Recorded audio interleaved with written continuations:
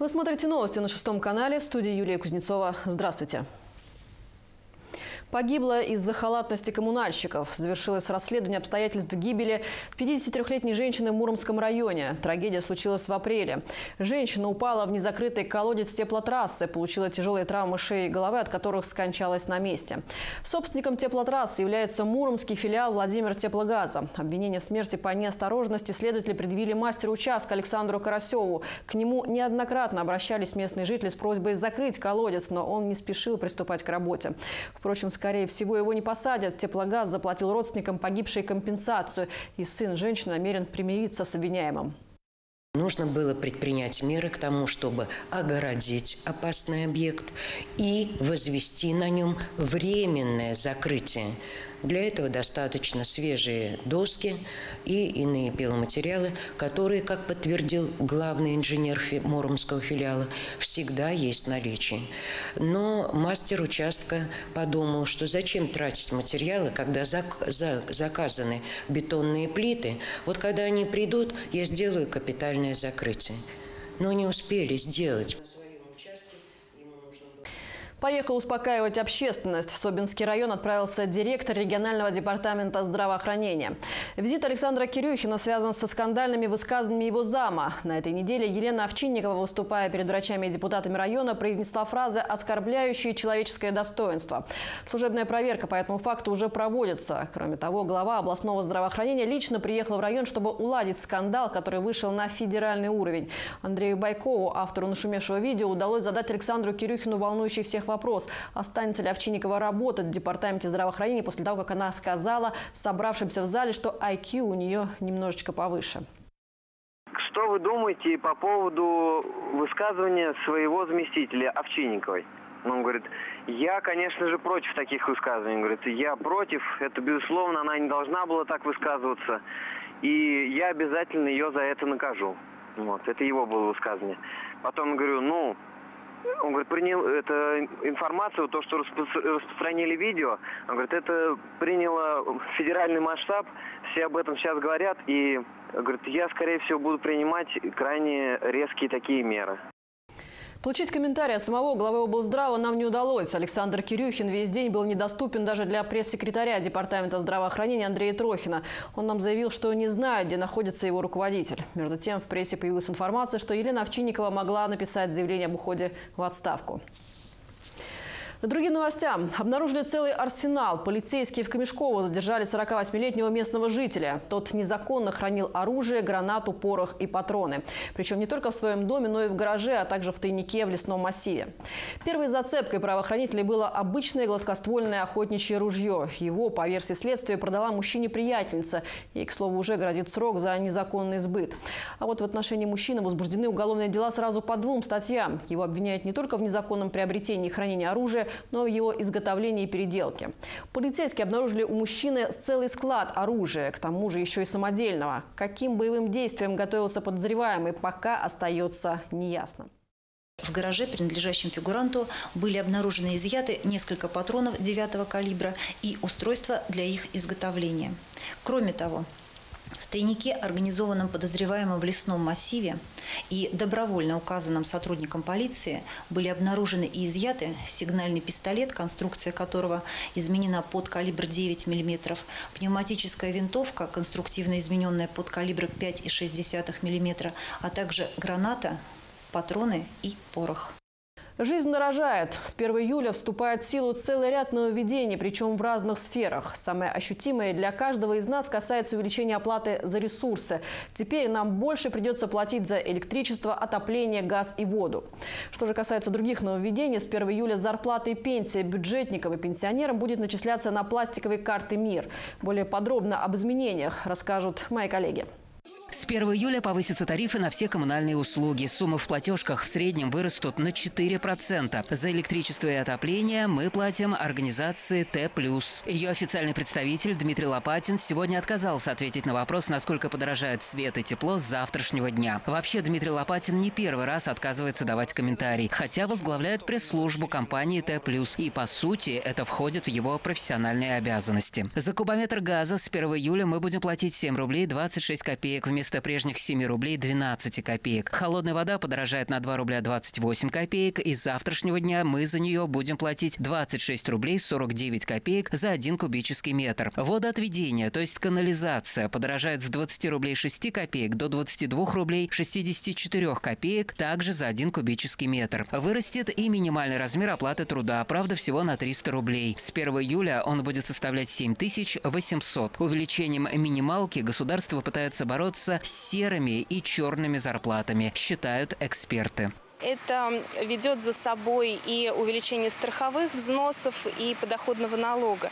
Если в целом по России, по предварительным расчетам, это будет составлять порядка 2,5 миллиардов. То есть вроде бы увеличение небольшое, на 300 рублей для конкретного человека, вот, но по стране это большие деньги. И, а, в общем-то, это как одна из возможностей дополнительного наполнения нашего пенсионного фонда и все, что с этим связано.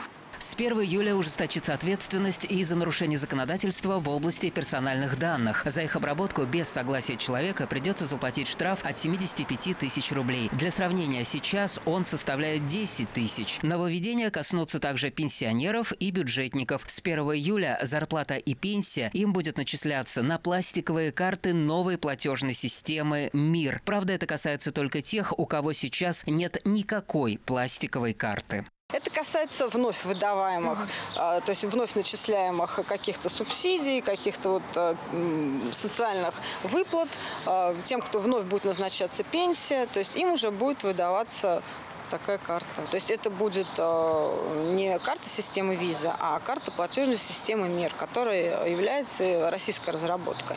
Александр Инин, Валерия Саенко, Илья Фомин, Шестой канал. Хамство на дороге. В сети появилось видео, на котором колонна автомобилей с флагами устроила пробег по центральным улицам Владимира. Ехали автомобили с явными нарушениями правил дорожного движения. Пассажиры, высунувшись из машины по пояс, размахивали флагами разных регионов и республик России. Пиком наглости стало поведение водителя белой приоры. Тот просто перекрыл движение, чтобы его товарищи могли беспрепятственно проехать перекресток на Красный. Такая выходка напомнила так называемый парад Геленвагенов, который устроили выпускники ФСБ год назад в столице столице. Разве что автомобили владимирских мажоров были попроще.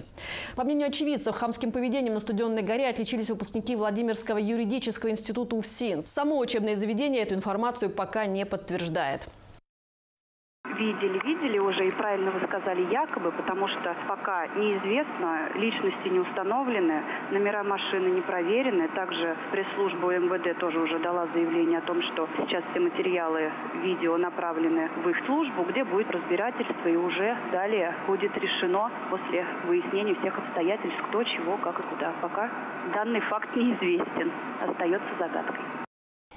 Золотой фонд города. Благодарности и медали за особые успехи в обучении сегодня получили 169 владимирских выпускников.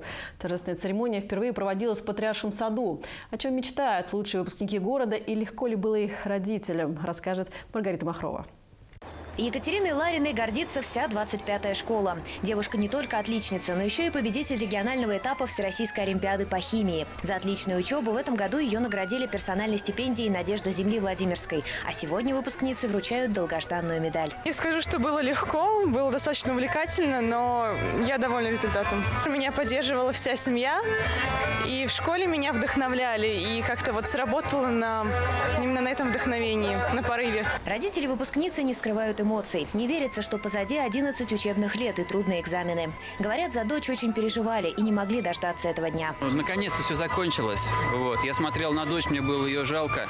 И я удивлялся ее самоотверженности, как она шла к этой цели. Она молочинка. Поставила цель, и она сделала. Мы вокруг нее плясали, помогали, как могли. Просто любить надо ребенка, понимать, что нужно не только работать, нужно еще отдыхать, нужно правильно организовать ее день, нужно, чтобы обязательно была там горячая еда, доброе слово. Лучших выпускников города сегодня впервые чествуют в Патриаршем саду. От церемонии в душном зале решили отказаться ради живописных видов. Всего в этом году школы города закончили 1538 ребят. Из них 169 с отличием. Педагоги отмечают, что с каждым годом медалистов становится все больше. И такой результат не гонка за показателями. Выпускники сами стремятся к высоким результатам. У нас выпускники, э, порядка половины выпускников э, набирали э, от от 80 э, до 100 баллов по различным предметам. Люди уходят в разные сферы. В область дипломатии, в область экономики, в область юриспруденции, в область журналистики. В учебе, как и в спорте, есть свой медальный зачет. По статистике, больше всего отличников в этом году выпустили 6 учебных заведений города. Успех 36-й школы в этом году даже отметили в управлении образования. Вообще хочется ее отметить, потому что она получ... выиграла в конкурсе на лучшую школу года, а, выиграла а, в лучший класс года. У них 100 а.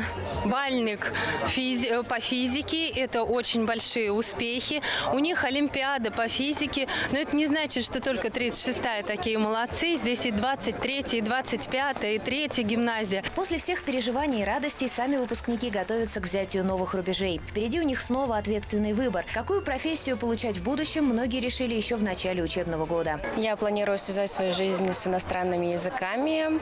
Это будет либо переводчик, либо преподаватель английского языка.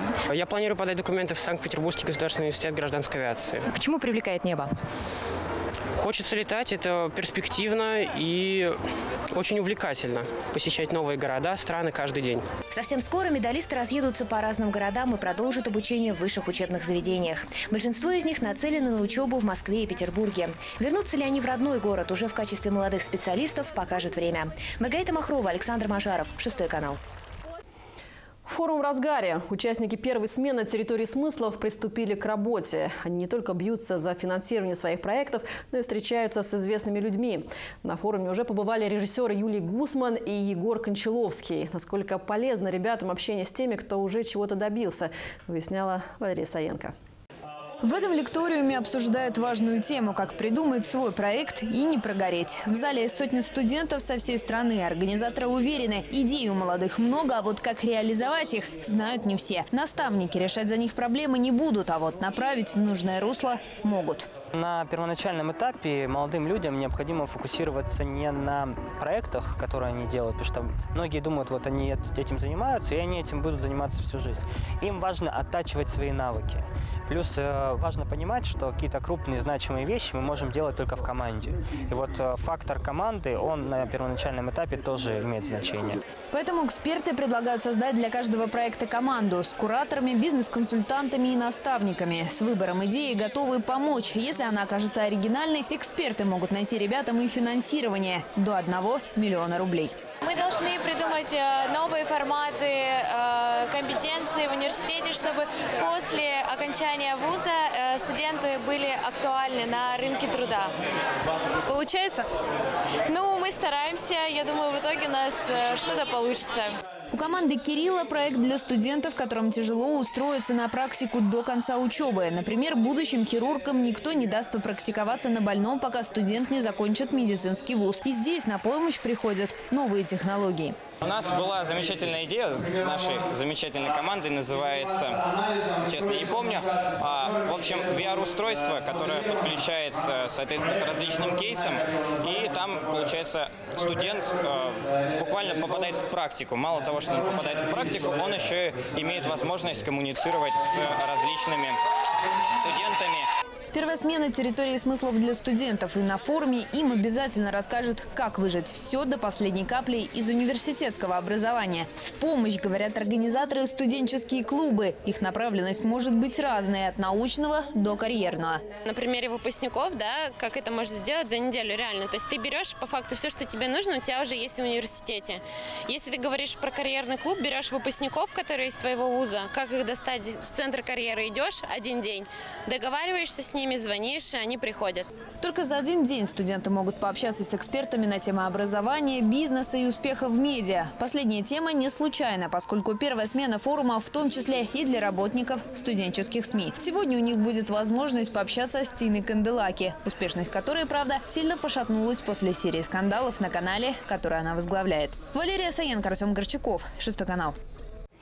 В предвкушении праздников в ближайшие выходные, как мы уже рассказывали, в Владимире будут отмечать День молодежи и Сабантуй, а уже через неделю в нашем регионе пройдут большие праздники, посвященные Дню святых благоверных Петра и Февронии Муромских, а сразу после 16 июля – Вишневый Спас.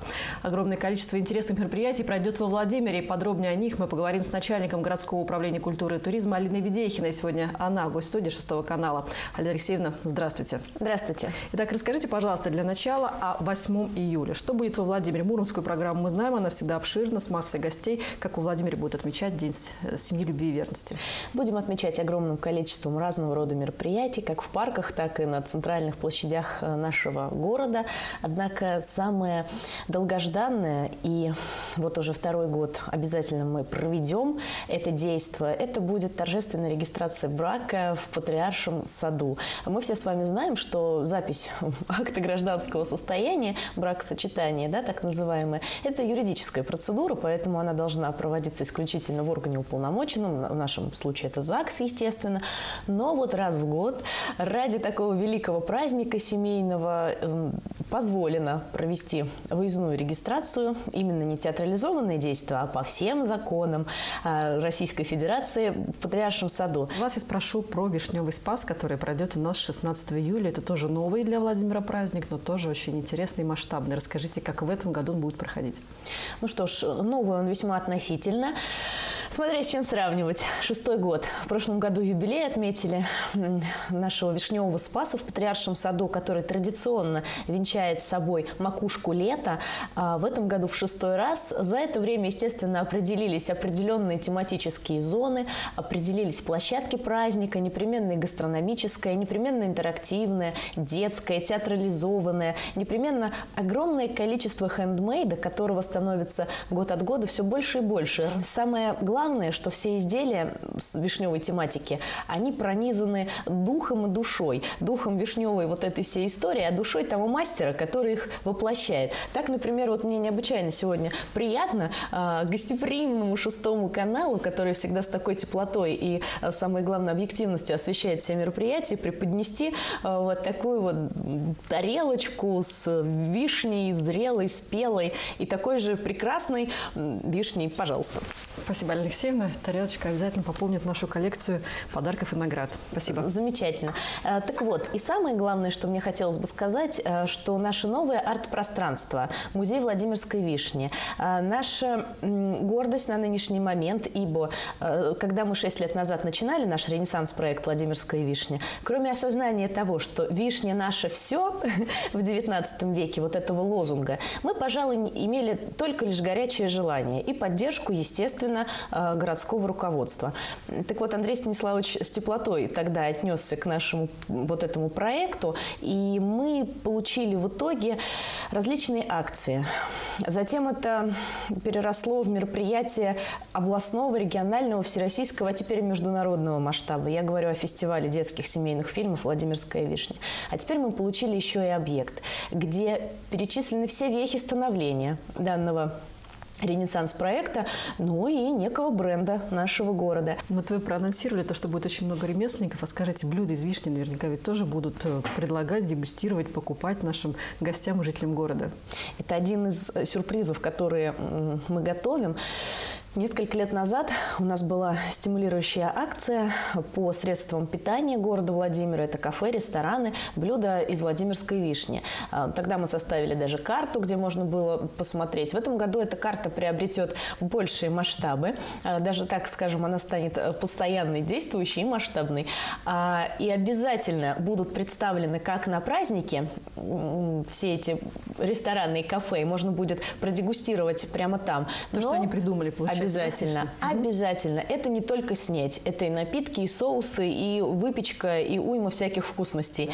Алина Алексеевна, ну, прежде чем я с вами попрощаюсь, расскажите, ведь это еще не все. Наверняка до конца лета вы придумали еще массу всего интересного для того, чтобы привлечь и туристов, и чтобы владимирцам было а, интересно выходные гулять по нашему городу. Даже не только выходные. Мы э, почему-то очень полюбили день среду, в который у нас происходят и танцы на Соборной э, исторического клуба, и происходит на Спасском холме бабушкины сказки. Деткам читают. Мы очень любим выходные. Мы везде танцуем. И в рамках фитнес-лета для всех. И в рамках фестиваля «Жизнь в ритме танца». А также в июле у нас на Соборной площади мы делаем упор на образование. Так все желающие совершенно бесплатно смогут а, посетить открытые уроки испанского языка, школу оратора, а, поэтические вечера, мастер-классы. Обязательно зазвучит гитара. А, будут вот такие небольшие локальные камерные посиделки с великолепной гитарной музыкой. В общем, нужно каждую неделю обязательно отслеживать все события на вашем сайте, чтобы ничего интересного не упустить. Именно так. И мы этому только рады. Спасибо большое. Я напомню, только что мы беседовали с Алиной Ведехиной, начальником городского управления культуры и туризма. Отметить праздник топора и русской гармонии, погулять на татарском Сабанту и отправиться в прошлое с помощью исторической реконструкции. В эти выходные владимирцев и гостей города ждет насыщенная праздничная программа. О самых ярких событиях ближайших двух дней расскажут мои коллеги. Приглашают на Сабантуй. 1 июля во Владимире 18 раз отметят традиционный татарский и башкирский праздник. Он пройдет на территории стадиона в загородном парке. Гостей ждут народные игры и забавы, спортивные соревнования среди национальных диаспор региона, угощения и концерт с участием заслуженных артистов Республики Татарстан. Впервые на празднике устроят оригинальный флешмоб и конное шоу. Начало Сабантуя в полдень.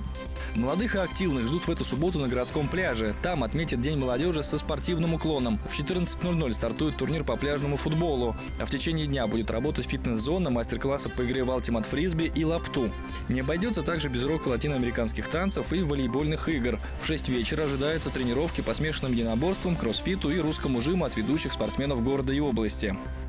Необычные праздники в эти выходные пройдут и в других городах области. На День топора в Суздале в третий раз соберутся мастера-плотники из разных регионов Центральной России. В субботу на торговой площади города они продемонстрируют свое искусство и поделятся профессиональными секретами со всеми желающими. Гостей праздника также ждут и народные игры и забавы, ярмарка ремесел и дегустация каши из топора, о которой до этого мы слышали только в сказках.